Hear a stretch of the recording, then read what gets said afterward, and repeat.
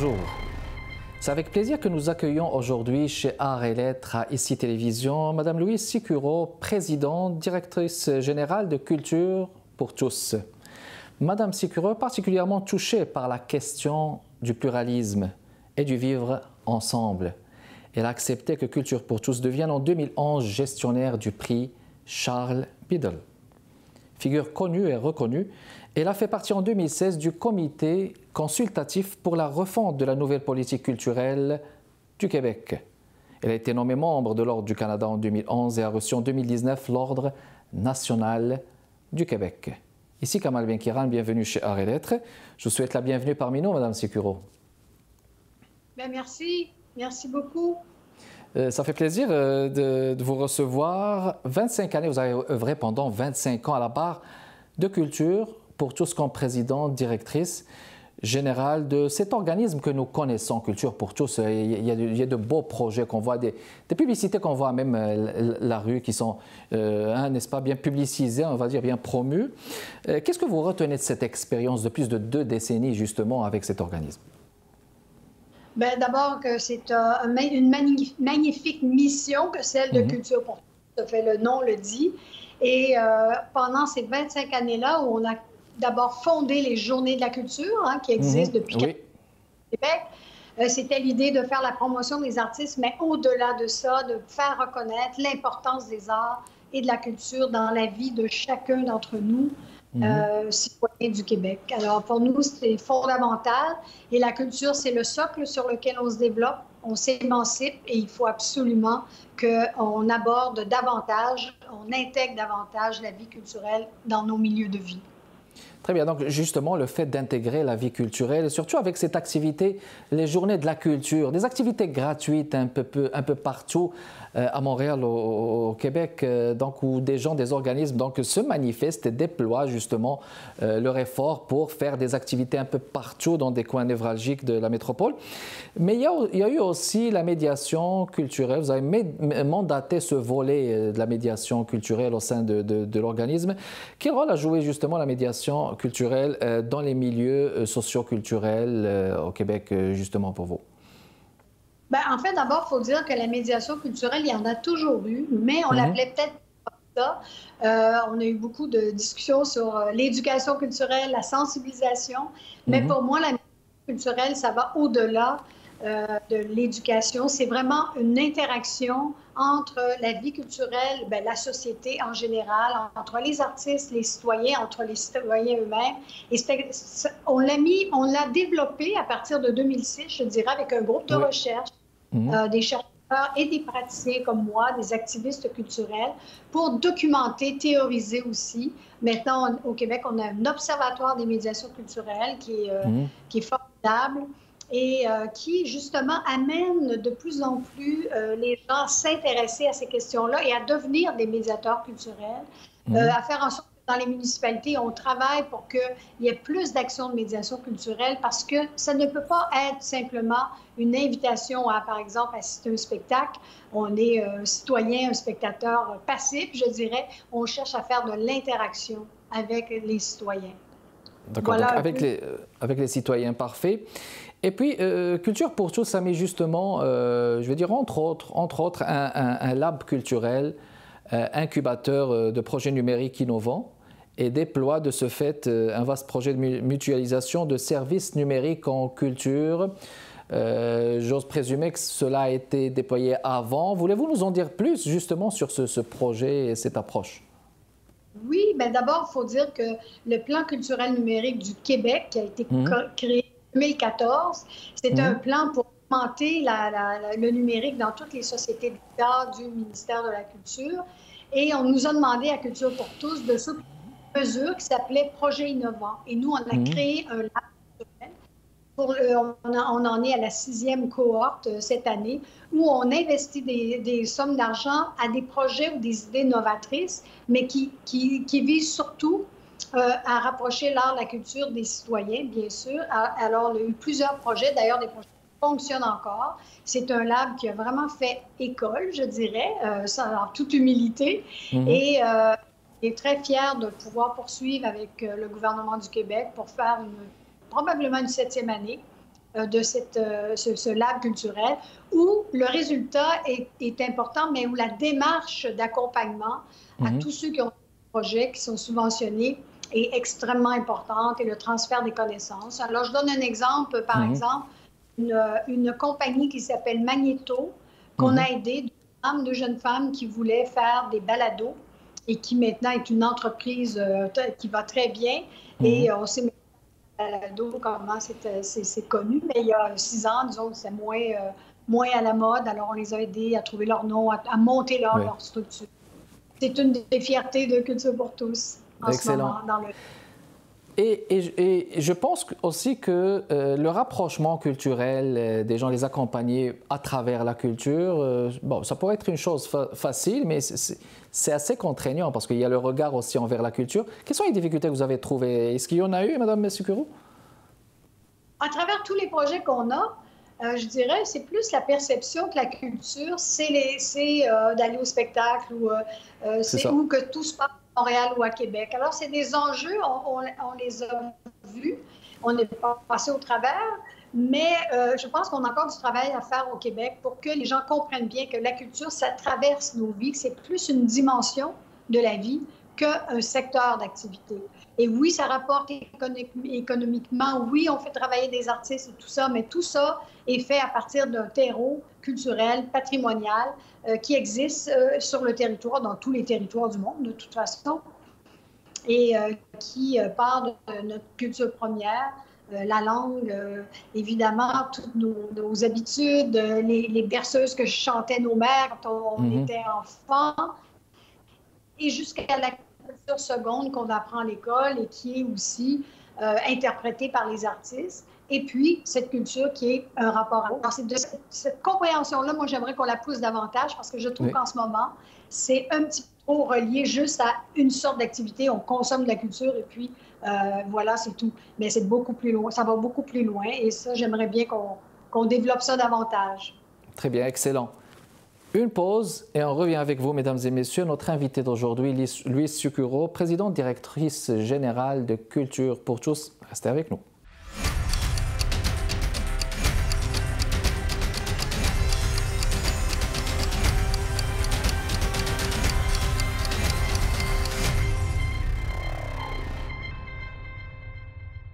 De retour avec vous, mesdames et messieurs, notre invité de ce jeudi, Louise Sucuro, présidente directrice générale de Culture pour tous. Intéressant échange avec madame Sucuro. Continue avec vous, madame. On va parler cette fois du, prix Charles Biddle. C'est un prix qui a, pris de la place dans le milieu et qui s'adresse à tout le monde avec, euh, j'ose présumer, deux, deux volets. Euh, donc, Culture pour tous en 2011 est devenu gestionnaire de ce prix, le prix Charles Biddle. On va juste euh, donc prendre plus d'infos. Voulez-vous nous parler de ce prix? Et puis, c'est qui ce monsieur Charles Biddle pour rapprocher les gens beaucoup plus euh, de ce prix? C'est un prix qui existe et qui a été créé par le ministère de l'Immigration mhm. du Québec qui ben, rend hommage à un grand, grand, grand musicien de jazz, Charles Biddle, qui est décédé maintenant. C'est un mhm. musicien ce prix-là s'adresse à tous les artistes euh, issus de l'immigration ou mhm. encore des travailleurs de la culture issus de l'immigration. Et on a demandé à Culture pour tous, il y a 11 ans, de, de, mettre en valeur ce prix. Et effectivement, maintenant, c'est un prix prestigieux. Il y a des bourses, euh, deux bourses de 5 000 pour euh, les, les, les, lauréats du volet international, national et celui régional. Et on est très, très content de pouvoir contribuer à mettre en valeur l'importance des, euh, euh, artistes ou des travailleurs de la culture qui sont euh, des, issus de l'immigration. Alors, il faut dire justement qu'on ne voit pas beaucoup de prix ou d'initiatives de ce genre qui, consacrent des gens issus de la diversité. À quel point pensez-vous justement que le prix Charles Biddle a atteint ses objectifs justement jusqu'à date? Bien parce qu'on a d'abord de plus en plus d'inscriptions de, de mise en candidature de gens extrêmement euh, talentueux, engagés. Et euh, évidemment, il y a est toujours intéressante, mais c'est beaucoup, euh, je pense, faire aussi découvrir des gens qui ne sont pas des MTUI de ce monde ou des Boucardio, qui ont d'ailleurs reçu le prix déjà. Voilà mm-hmm. pourquoi on a fait un Alors, ça permet de découvrir des perles, des gens engagés dans la communauté, Et ça, ça me fait très plaisir, moi qui suis fille d'immigrants italiens. ça m'a toujours évidemment intéressé de, pouvoir contribuer, je dirais, à, à, mettre en valeur les artistes qu'on ne voit pas toujours à l'écran, par exemple. Très bien. Quand, je vois, quand, quand vous dites le volet national et international, euh, voulez-vous expliciter Bon, national, moi je peux comprendre que c'est au niveau de la régionale, mais international, est-ce que c'est au niveau, c'est hors Québec ou? Euh, c'est-à-dire, dans le volet national, international, c'est les deux. Ça peut être quelqu'un qui fait un travail au niveau pan-québécois, par exemple, ou mhm. pan-canadien, mais euh, qui a aussi une approche, une, une, démarche qui se répercute ou qui rayonne à l'international. Donc, on en a fait un volet. Euh, parce que pour certains, euh, c'est euh, l'expression de son travail. par exemple, je pense à un danseur, ils font beaucoup de tournées vers le monde, donc ils peuvent s'illustrer à travers le monde. Et c'est une façon aussi de faire connaître le Québec. Donc, c'est comme ça qu'on a créé le volet. Et le volet régional, ça, c'est tout nouveau parce que ça fait quelques années, justement, comme je disais, il faut mhm. mettre en valeur des, des gens extrêmement engagés et talentueux euh, dans les régions qu'on ne connaît pas nécessairement parce qu'ils n'ont pas nécessairement, ils sont pas en tête d'affiche. Alors, mhm. euh, ça permet de, de, célébrer et de, de, mettre en valeur deux lauréats chaque année. Puis, puis atteindre les communautés culturelles, euh, ça pourrait être peut-être pas évident que ça, peut-être parce que ces communautés, ben, on ne les voit pas souvent, je, dirais. Mais comment faites-vous justement pour les atteindre? Est-ce grâce à des partenariats? Avez-vous des, des, partenariats avec le Conseil des arts? Comment est-ce que vous faites? Les artistes pour le prix Charles Meadow? Oui. Ben, enfin, on, connaît bien, on a des listes, on travaille, oui, avec des partenaires qui s'intéressent à la diversité culturelle. Euh, Ce n'est pas mhm. les conseils d'État, je dirais, mais euh, on, a beaucoup, nous, de, contacts et donc on sollicite les gens à déposer leur candidature ou mhm. à faire à déposer la, candidature d'un artiste, par exemple, qu'on connaît. Alors ça, c'est extrêmement euh, important, c'est précieux. Et chaque année, il y a un renouvellement. Bien sûr, il y a des gens qui peuvent se, se euh, euh, reposer leur candidature d'une mhm. année à mais, euh, et, puis c'est bien comme ça. Je, on, a, la chance de, de, participer. Et chaque année, on, choisit trois finalistes dans chacun des volets, donc six finalistes. On fait des, des, des capsules avec la fabrique Télé-Québec qui sont mises en ondes, qui sont mhm. fabuleuses on voit vraiment, c'est très court, mais c'est très bien fait pour justement démontrer le travail de ces, euh, ces personnes. Et, à la fin du mois d'octobre, lors de la le ministère dévoile les deux lauréats pour chacun des volets. Parfait. Puis la place de la relève, est-ce que ça s'adresse, euh, ce public général, ou bien est-ce qu'il y a un volet pour la relève, ou bien c'est juste, bon, adulte général? Ben, c'est adulte, mais la relève, vous savez, euh, surtout quand on est immigrant, euh, on peut être une relève dans, dans l'art, mhm. puis euh, pas nécessairement avoir alors, c'est un concept, mais on a déjà parlé de ça. Mais je peux vous dire que cette année, on va avoir une belle nouvelle. On a demandé à créer une œuvre qui va être remise, une œuvre originale, remise aux deux lauréats. Et mhm. c'est ça a été, et je ne peux pas dévoiler le nom encore parce que c'est pas mhm. encore publié, mais on a choisi des, un artiste, en fait une artiste, je peux toujours vous dire ça, qui fait partie de la relève. Excellent. Mhm. Issu de l'immigration. Issu de l'immigration et des, des, communautés.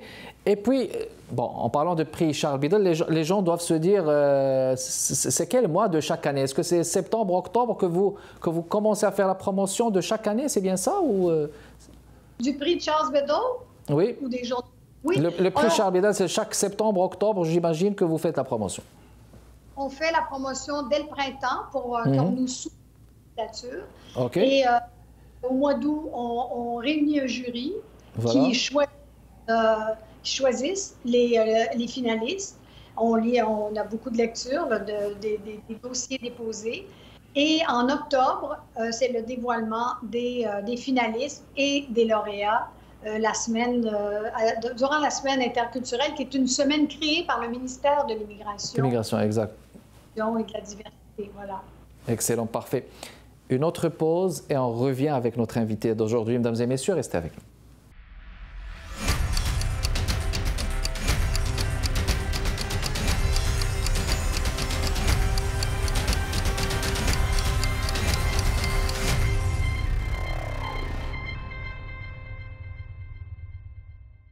De retour avec vous, mesdames et messieurs, pour continuer notre discussion avec Madame Louise Sicuro, présidente directrice générale de l'organisme Culture pour tous. Encore un dernier mot sur euh, le prix Charles Biddle. Quels sont les horizons euh, donc, euh, projetés à ce prix dans le, contexte de cette pandémie? Comment est-ce que vous fonctionnez avec ça? Ben, moi, je pense qu'un des des grands souhaits aussi, c'est de voir peut-être de répercuter ces, ces prix-là, ces personnes-là, de, pouvoir les faire rayonner au Québec davantage, mhm. La fabrique culturelle avec les capsules, c'est très mais on pourrait aller un peu plus loin dans de la vidéo euh, où on pourrait, euh, comme je dirais, découvrir, débusquer des trésors mhm. et, euh, de façon large. On avait déjà eu un projet comme ça avec Angelo Cadet, qui, est récipiendaire du prix Charles Biddle. Et ben, c'est peut-être quelque chose dans les cartons, comme on dit. On pourrait mhm plus loin, bien que le prix est très apprécié. Et je peux vous dire partie des CV des, gens qui l'ont. Et ça donne euh, une, stature, ça donne un coup de pouce, ça donne euh, une consécration un petit peu, le mot est peut-être fort, mais du travail qui est fait par ces personnes euh, formidables, talentueuses qu'on a choisies depuis ces 11 dernières années. Parfait. Madame Sucuro, euh, vous avez fait partie en 2016 euh, du comité consultatif pour la refonte de la nouvelle politique culturelle du Québec. Euh, jusque-là, que peut-on dire sur les perspectives justement de cette politique culturelle au Québec de votre point de vue, de votre point de vue subjectif? Pensez-vous qu'il y a eu des progrès jusqu'à date? Absolument. c'est une politique très intéressante euh, qui peut toujours être amélioré, bien sûr, mais ce qui est intéressant dans cette politique, et j'ai beaucoup travaillé pour que ça arrive, c'est mhm. que c'est le citoyen qui est au cœur de la politique. Les artistes y sont.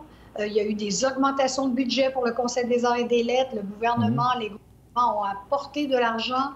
Et je pense que la valeur des arts de la culture euh, est très reconnue de plus en plus et on peut, et le gouvernement place le, manifeste clairement avec des, des, sommes d'argent euh, dévolues euh, aux arts et la culture. Euh, et, les programmes de cette politique, qui ont, cette politique qui a amené des programmes, mhm. comme par exemple des programmes pour aider à l'accès, sont importants.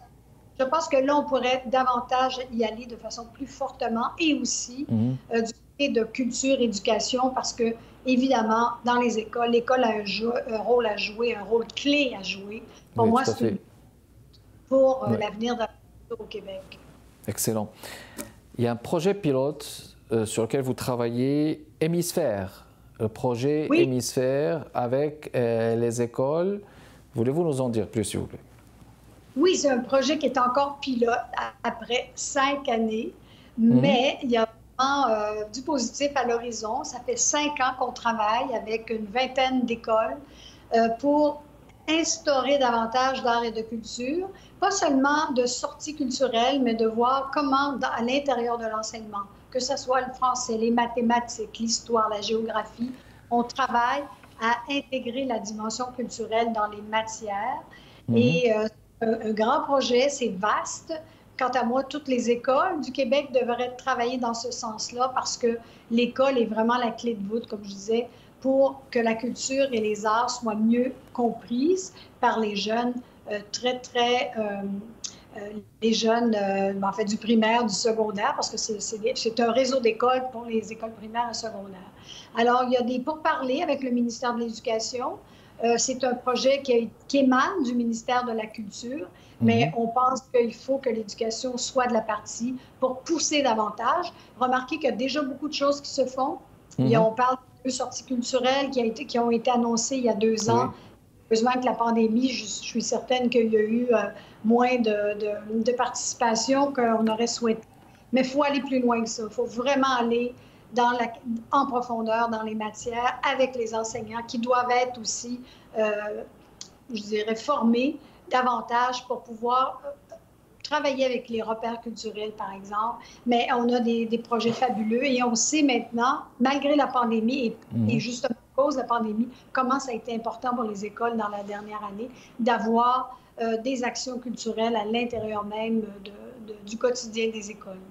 Excellent. Donc on va dire que c'est un projet qui s'échelonne sur 2021-2022. Comment ça se passe justement? Oui, ben, à chaque année, on reçoit l'approbation. Mhm. C'est annuel. On aimerait bien que ça soit pour 3-4 ans pour pouvoir euh, avoir un horizon de planification. Mais encore cette année, le ministère de la Culture a accepté de faire une cinquième année et on mhm. travaille pour que le ministère de l'Éducation soit de la partie l'an prochain. C'est mon rêve le plus cher, bien que je quitte euh, mon, mon, poste de, PDG euh, la semaine prochaine. Ah, la semaine prochaine, carrément.